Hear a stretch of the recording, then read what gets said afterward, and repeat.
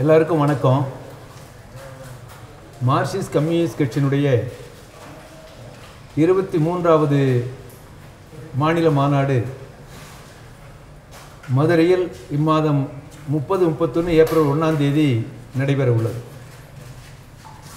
நடக்க இருக்கிற மாநில மாநாட்டினுடைய முன்னோட்டமாக இன்று தமிழ்நாடு முழுவதும் மார்க்சிஸ்ட் கம்யூனிஸ்ட் கட்சியினுடைய கொடிநாள் கடைப்பிடிக்கப்படுகிறது.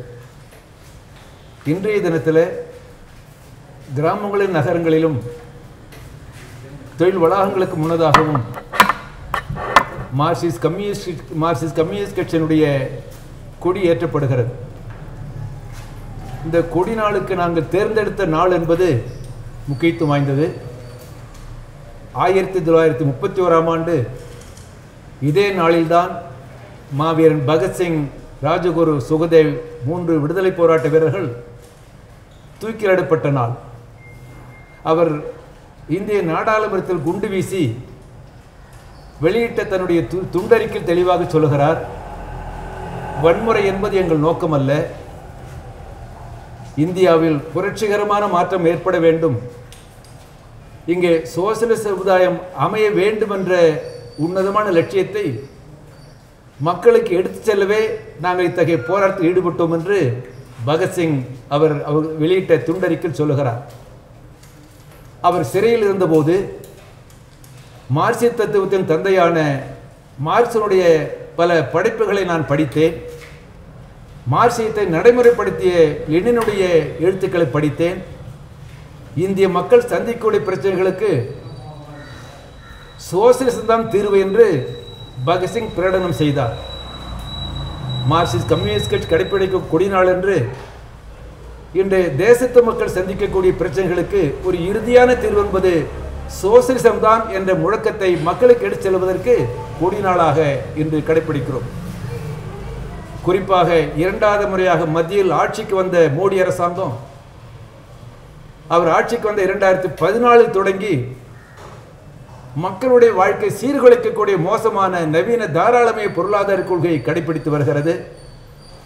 ஏழைகள் மேலும் ஏழைகளாக பணக்காரர்கள் மேலும் பணக்காக ஆகக்கூடிய மோசமான தாராளமய தாராளமய பொருளாதார கொள்கையினால் குறிப்பாக கோவிட் பத்தொன்பதுக்கு பிறகு பல கோடி பேர் வறுமை கோட்டின் கீழே தள்ளப்பட்டு இருக்கிறார்கள் விவசாயிகள் கடுமையான பாதிப்புக்குள்ளாகி இருக்கிறார்கள். ஏழை எளிய மக்கள் முறைசாரா தொழிலாளர்கள் ஆலை தொழிலாளர்கள் என்று கடுமையான பாதிப்புக்குள்ளாகி இருக்கக்கூடிய மோடி அரசு கடைப்பிடிக்கக்கூடிய அந்த நவீன தாராளமய பொருளாதார கொள்கை எதிர்த்து போராடுவதற்கு மார்க்சிஸ்ட் கம்யூனிஸ்ட் கட்சி மாநில மார்க்சிஸ்ட் திட்டமிட இருக்கிறது அடுத்து மத்தியில் ஆட்சிக்கு வந்த பாஜக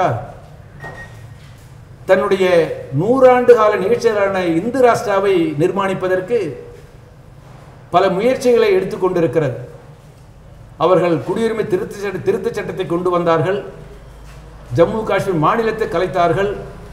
இப்படி ஒவ்வொன்றாக அவர்களுடைய இந்து ராஷ்டிர அஜெண்டாவை இந்துத்துவ அஜெண்டா கொண்டு வருவதற்கு மத்திய அரசு முயற்சித்துக் கொண்டிருக்கிறது. மார்க்சிஸ்ட் கம்யூனிஸ்ட் கட்சி தெளிவாக சொல்கிறது மத்தியில் ஆளக்கூடிய மோடி அரசாங்கம் என்பது ஒரு கார்ப்பரேட் இந்துத்துவ கூட்டணி அரசாங்கம் தான். அந்த நவீன தாராளமய பொருளாதார கொள்கை எதிர்த்தும் மத்திய அரசாங்கத்தினுடைய மதவெறி வகுப்புவாத அந்த அணுகுமுறை எதிர்த்தும் மார்க்சிஸ்ட் கம்யூனிஸ்ட் கட்சி தொடர்ந்து போராடி வருகிறது. தமிழகத்திலே தொடர்ந்து பல ஆண்டு காலமாக சாதி ஆணவ கொலை என்பது தொடர்கதையாக நீடித்து வருகிறது. பெண்களுக்கு எதிரான பாலியல் கொடுமை தலித் மக்களுக்கு எதிரான தாக்குதல் சாதி ஆணவ கொலை ஏழை எளிய உழைப்பாளி மக்களுடைய வாழ்க்கை தன்மை மேலும் மேலும் சரிந்து வருகிறது. இத்தகைய பின்னணியில் மார்க்சிஸ்ட் கம்யூனிஸ்ட் கட்சியின் மாநாடு மதுரையில் கூடுகிறது. நேற்று நீட் தேர்வுக்கு தமிழகத்துக்கு விதிவிலக்க வேண்டும் மார்க்சிஸ்ட் கம்யூனிஸ்ட் கட்சி போராடி வருகிறது. உழைப்பாளி மக்களுக்காக மாற்றுத்திறனாளிகளுக்காக விவசாயிகளுக்காக மாணவர்களுக்காக பெண்களுக்காக தொடர்ந்து போராடி வருகிறது. உங்களுக்கெல்லாம் தெரியாதல்ல இன்னைக்கு பெட்ரோல் டீசல் என்பது எந்திரிச்சு எண்பத்தஞ்சு பைசா ஒரு கிலோ ஒரு லிட்டருக்கு ஏற்றிருக்கிறாங்க குறிப்பாக போக்குவரத்து போன்ற அந்த கார்பரேட் மொத்தமாக டீசல் வாங்கினா அதுக்கு ப பயங்கரமான விலை உயர்வு இன்னைக்கு காலையில் என்ன செய்தி வந்திருக்கு? இலங்கையிலிருந்து அங்கேருந்து ஒரு சில குடும்பங்கள் ராமேஸ்வரத்தில் அவங்க குடியேறியதாக அகதே வந்திருக்கிறதாக தகவல் வந்திருக்கு. அந்த கடற்கரை அந்த காவல்துறை அவர்கள் கைது செய்து கேட்டபோது எங்களால் இலங்கையில் விலைவாசி ஒரு தாக்கு பிடிக்க முடியல தப்பிச்சு வந்திருக்குன்னு சொன்னாங்க. அது அங்கு மட்டுமல்ல இந்தியாவில் இருக்கக்கூடிய மக்கள் வே ஏ- விலைவாசி விஷமோர் ஏறுகிற போது இங்கிருந்து தப்பிச்சு இலங்கை போக முடியாது பாகிஸ்தானை போக முடியாது பங்களாதேஷ் போக அப்படிப்பட்ட மோசமான நிலைமை நீடித்து வருகிறது. பெட்ரோல் விலை உயர்வு உங்களுக்கு தெரியாதல்ல. ஒரு சிலிண்டர் கேஸ் என்பது திடீர் ஐம்பது ரூபாய் உயர்த்திருக்கிறாங்க. இது ஒட்டுமொத்தமாக மக்கள் நலனை பாதுகாப்பதற்காக மதச்சார்பை பாதுகாப்பதற்காக கூட்டாட்சியை பாதுகாப்ப பாதுகாப்பதற்காக சுயசார்பு பொருளாதார பாதுகாப்பதற்காக எங்கள் கட்சியுடைய மாநில மாநாடு மதுரையில் கொடுக்கிற விவாதிக்க இருக்கிறோம். எதிர்கால அரசியல் கடமை தீர்மானிப்பதற்காக அமைப்புசார் முடிவெடுப்பதற்காக கூடக்கூடிய அந்த மாநில மாநாட்டை ஒட்டி இன்று குடிநாள் என்பது நம் மாநிலம் முழுவதும் அனுஷ்டிக்கப்படுகிறது. மாநில மாநாடு முடிந்த பிறகு வரக்கூடிய ஏப்ரல் மாதம் ஆறாம் தேதி துவங்கி பத்தாம் தேதி வரை கேரள மாநிலத்தில் கண்ணூரில் கட்சியுடைய இருபத்தி மூன்றாவது மாநாடு என்று நடைபெற உள்ளது.